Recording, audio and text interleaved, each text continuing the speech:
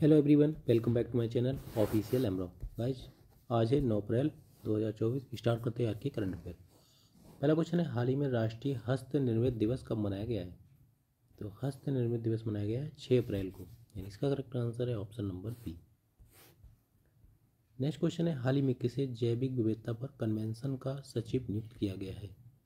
तो सचिव नियुक्त किया गया है ई सोमेकर को, यानी इसका करेक्ट आंसर है option number A next question हाल ही में ई आई यू की रिपोर्ट के अनुसार व्यापार करने के लिए दुनिया की सबसे अच्छी जगह कौन सी है? तो सबसे अच्छी जगह है सिंगापुर। यानी इसका करेक्ट आंसर है option number B next question है, हाल ही में अमेरिका और किस देश ने एआई की परीक्षण सुरक्षा पर समझौता किया है? तो ये समझौता किया है ब्रिटेन ने। यानी इसका करेक्ट आंसर है option number C next question है, हाल ही में कहाँ तटीय सुरक्षा अभ्यास सागर कवच आयोजित किया गया है? तो ये आयोजित किया गया है लक्षद्वीप यानी इसका करेक्ट आंसर है option number B next question है, हाल ही में किसे H I C S S दो हज़ार चौबीस में लाइफ टाइम अचीवमेंट से सम्मानित किया गया है? तो ये सम्मानित किया गया है कपिल भाटिया को। यानी इसका करेक्ट आंसर है option number A next question है, हाल ही में किसे N C D F I के अध्यक्ष के रूप में चुना गया है? तो ये अध्यक्ष चुने गए हैं मीनेश साहा यानी इसका करेक्ट आंसर है option number C next question question number हाल ही में किसी दिल्ली में वनों की सुरक्षा से संबंधित समिति का अध्यक्ष नियुक्त किया गया है।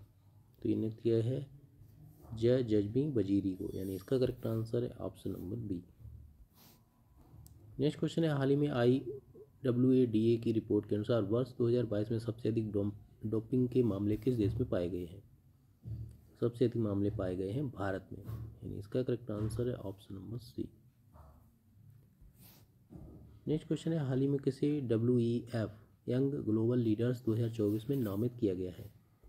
नामित किया गया है शाश्वत गोयनका को। यानी इसका करेक्ट आंसर है option number B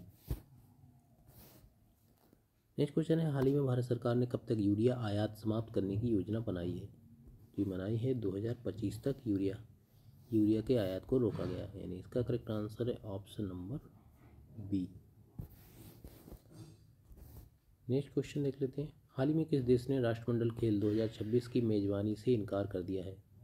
इनकार कर दिया है सिंगापुर ने, यानी इसका करेक्ट आंसर है option number C next question है, हाल ही में वर्चुअल एटीएम के लिए जे एंड के बैंक ने किसके साथ साझेदारी की है? तो ये साझेदारी की है पे मार्ट इंडिया के साथ। इसका करेक्ट आंसर है option number B next question है, हाल ही में कहाँ के हवाई अड्डे पर डिजी यात्रा प्रणाली का उद्घाटन किया गया है? तो उद्घाटन किया गया है गोवा में। यानी इसका करेक्ट आंसर है option number C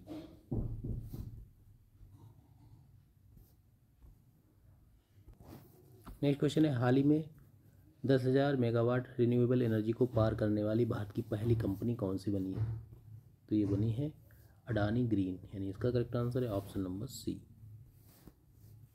तो गाइज़ कैसा लगा आज का वीडियो कमेंट करके ज़रूर बताइएगा। वीडियो शेयर कर दीजिए चैनल को सब्सक्राइब कर लीजिए। Thank you for watching this video